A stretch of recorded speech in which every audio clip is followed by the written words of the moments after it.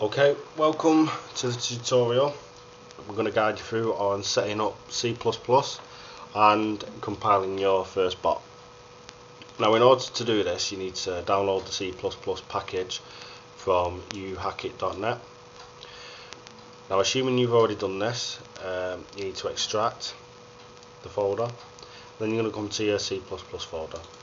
So at this point you will have these folders in front of you.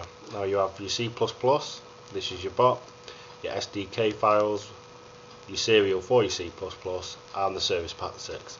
Now it's important that you in install these in the correct manner. So you need to install C++ first, then the service pack, and then SDK. Once you've done that, we're going to set it up. So go to Microsoft Visual C++ and start it up for the first time. Now here we're going to add the SDK files uh, that you've just installed. And to do this we'll go to Tools and Options. And in this field you can see you've got many tabs. We're going to go to Directories and as you see we've already got three already installed and these are standard ones. Now to install the SDK ones click underneath the last one. Like so and browse to the folder. Now the folder will usually be lo located on your C drive so go click C program files and there it is Microsoft Platform SDK that's the first one we're going to add. Now after that we need to add another three. And these are your bin, include and lib files so we're going to do this in the same manner.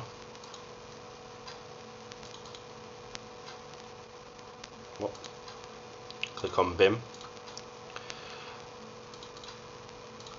And once again, the same for include. And again,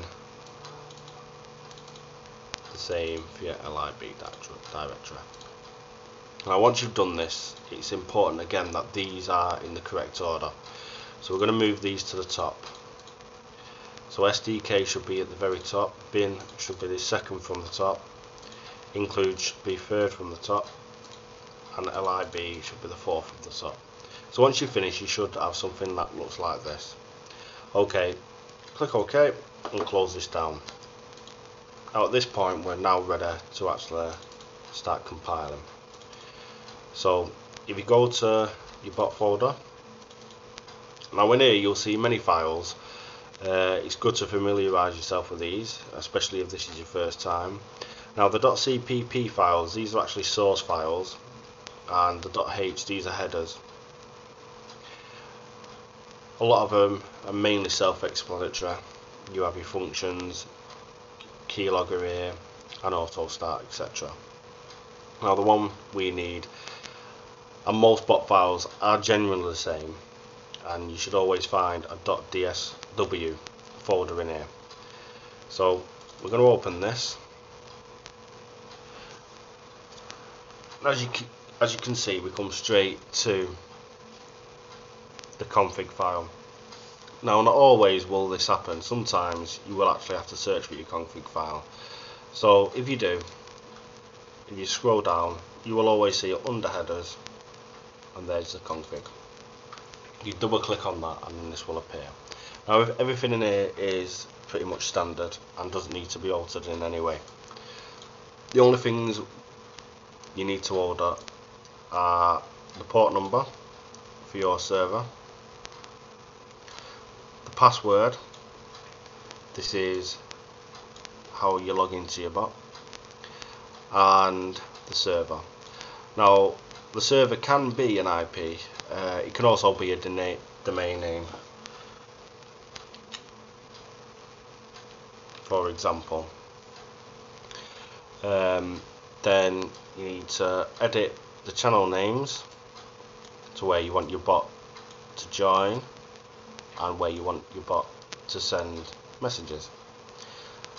And this is the password for the actual channel itself in order for your bot to join pretty straightforward stuff um, also I would advise on your auto host always to have a wildcard. Some you will see uh, wildcard and that symbol and then another wildcard. Now on some platforms this can cause problems so I always see it best just to place a wildcard there. Saves a lot of confusion. Make sure that you're up and running first time. Now once you've done that all you need to do is save. Up to your RBOT files. Always make sure you do a clean selection sometimes. You might already have an old exe there. This will delete that and replace it with uh, the one that you've just configured. We'll also upload any changes uh, to the bot. Now at this point you click build. And under here you will get several messages and at the end you will be told that your exe is complete. At this point you can close and then you come back to your original folder and you'll see in your debug folder and there is your exe hope this tutorial helped and there'll be more coming soon. Thank you